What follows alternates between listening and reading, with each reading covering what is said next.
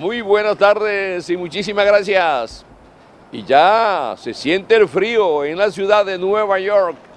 Sin embargo, aquí en el exterior se ha dado un paso hacia adelante con miras a las elecciones del 2024. Y lo hizo el destacado activista y político Gregorio Morrobel.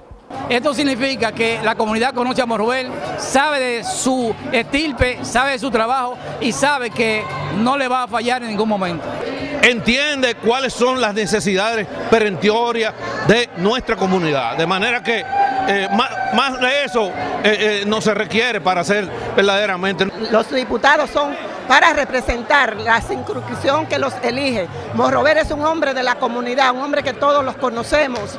El desencanto de la comunidad era total porque todos los diputados que hemos tenido durante todo el tiempo no, no le han dado a la ciudad, a la población el beneficio que se requiere.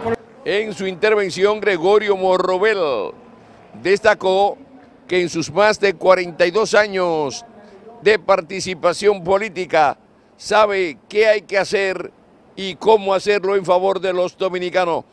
Además, se define como un fiel seguidor del presidente Leonel Fernández, por lo que puede contribuir de esta manera a la unidad y al triunfo de Leonel Fernández en el 2024.